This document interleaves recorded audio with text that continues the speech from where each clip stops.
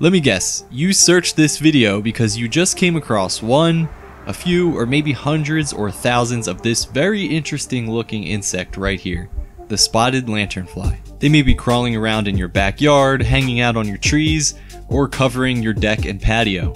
So what's the deal with these things? Where did it come from and why are they everywhere all of a sudden? In this video I'm going to tell you all about the spotted lanternfly, the problems it poses, and I'll even show you a few creative ways to get rid of them. The spotted lanternfly is native to northern China, Vietnam, and Taiwan. In these regions, it is kept in check by natural predators like egg parasitoids and carnivorous insects. The United States population is believed to have come from a shipment of landscaping stone from China in 2014. The insect lays their eggs on smooth surfaces such as tree bark, branches, and even stones and rocks. And the stones that were shipped from China to Berks County in Pennsylvania apparently contained many eggs. When the following spring arrived, the eggs that were attached to the rocks hatched, and out came the first spotted lanternflies in the United States. Since then, it has spread all throughout southeastern Pennsylvania and has slowly reached New Jersey, Delaware, New York, and even northern Virginia. You know those brown marmorated stink bugs you see around your house in the springtime? Yeah, those actually came from China too in 1998 and have spread from Allentown, Pennsylvania all throughout the United States. It's eerily similar to the situation that we have going on right now with the spotted lanternfly. It is very important to understand basic information about the bug if we're going to effectively combat it. So here's a bit of background. The spotted lanternfly is first and foremost a plant hopper. Plant hoppers are super interesting and come in all sorts of beautiful shapes and sizes. I mean, just look at this one. I'm like, how is that? That's amazing. Or this one. I mean, just like, is this real? But anyway, being a plant hopper means that it feeds on the sap of plants during its entire life cycle. The insect has five different life stages. The eggs survive the cold winter and hatch in the spring, and the little first instar nymphs emerge. When they first leave the eggs, they kind of look like a pale, shriveled up shrimp, similar to how I looked after not leaving the house for months during quarantine. They start to feed on plants right away.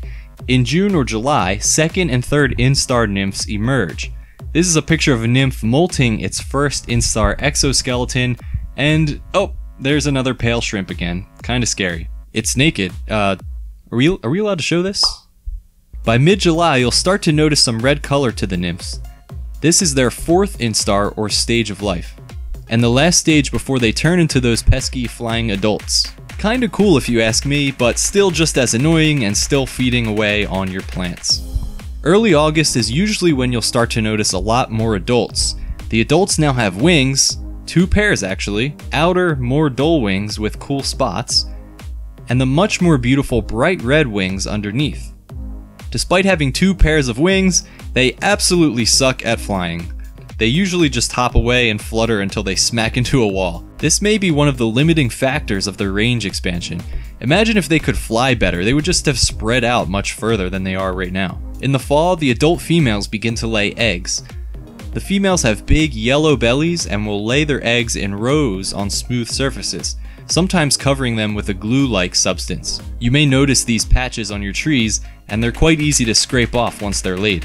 The eggs will stay here all winter unless disturbed, and the next spring the life cycle will start all over. Females can lay anywhere from 30 to 50 eggs at once.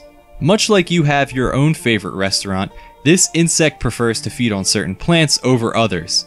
In its native range, its absolute favorite restaurant, uh, I mean tree, is the Tree of Heaven or Ailanthus altissima. it's a good thing that the Tree of Heaven is native to Asia and is not found anywhere in the US. Uh, what's that? Are you serious? The Tree of Heaven is found all over the US. It's one of the most invasive plants of all time. Very harmful to native forests. Oh, okay. Yeah, well, actually, the Tree of Heaven is found almost everywhere in the US, so that's just great.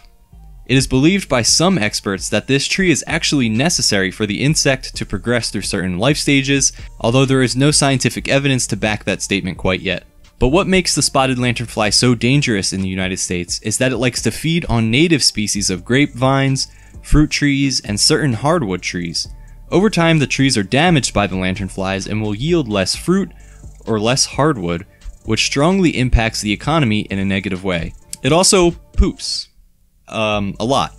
Its excrement is called honeydew, and it is a sweet substance that coats anything below a plant that is being fed on. The honeydew attracts ants, yellow jackets, and mold, among other things. If you ever wanted to be showered in poo, hey, no, no judgments here, just stand under an infested tree of heaven.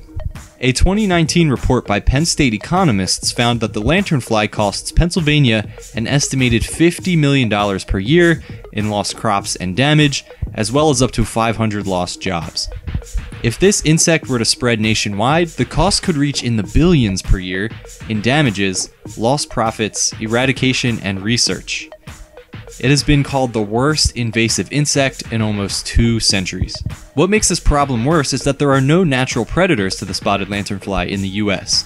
Sure, we do have some carnivorous insects like spiders and praying mantis that will feed on them, but they don't make a dent in the vast populations of the spotted lanternfly. The bug's bright red colors and white spots usually indicate that the insect is poisonous or unpalatable, and birds and other animals have learned to avoid these coloration patterns. Even though the spotted lanternfly is not poisonous, most things avoid eating them. Hopefully some will start to catch on soon and take advantage of such a huge, abundant food source. So now that we know a little bit more about the insect and the danger it poses, the best way to combat these things is by getting rid of as many as we can around our properties and communities. The bugs have naturalized, meaning that no matter how hard we try to stomp out every last one of them, it will be impossible to completely eradicate them at this point. They have spread and established populations in our forests and green spaces and are pretty much inaccessible in some spots. However, that doesn't mean we can't slow their spread to new regions and buy scientists more time to figure out more effective ways to get rid of them every lanternfly you kill could prevent 30 to 100 new eggs from being laid, which is a pretty significant number. So here are some of the best ways to get rid of them. Number one, have a stomping contest. It can be kind of fun to run around and step on as many as you can find. Remember, they are plant hoppers and they can jump very quickly and very far, but they get tired after a few jumps, so be persistent and keep following them. Also, here's a tip. Instead of trying to step on them from behind, step on them from the front. They can't jump backwards, so they usually freeze and have nowhere to go. Number 2. Tape your trees. If you have them all over your trees, you can wrap a few pieces of sticky tape around your tree. The spotted lanternfly will climb up and down the trees a few times a day, so by taping, you can trap thousands. This is extremely effective because the bugs, especially nymphs, get stuck to the tape and will die here. You can replace the tape every few days. However, it is extremely important to cover the outside of your tape with a fine mesh or chicken wire to minimize bycatch. For example, some birds will get stuck to the tape and die as well, and we definitely don't want that to happen. So by covering the tape with wire, you can prevent this. Number 3. The plastic bottle trick. This one works best for adults. If your tree is covered with them, simply hold a plastic bottle up to the back of them and they will jump right in. It's pretty effective and quick. What you do with them once they're inside the bottle is up to you. Number 4. A shop vac. Now this one is incredibly fun. Simply take a shop vac and have at it on an infested tree. Number 5. Get rid of your tree of heavens. If they don't have their favorite tree around, they won't do as well. It is important to note here that the tree of heaven is a very prolific root sucker and will send up tons of new shoots if you cut down your large stump. After you cut it down, it is necessary to keep cutting back the sprouts as much as possible until the root system is exhausted. Or more simply, you can buy a root killing herbicide that will do the same. Number 6. Dish detergent. In a bucket, mix dish detergent with water and simply scoop the spotted lanternflies into the bucket. This works best with nymphs, I think. They will not be able to survive in the mixture. 7.